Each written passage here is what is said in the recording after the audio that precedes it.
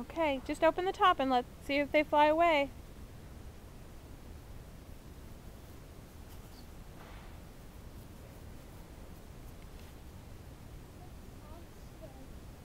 No, we we have to let them fly away, buddy.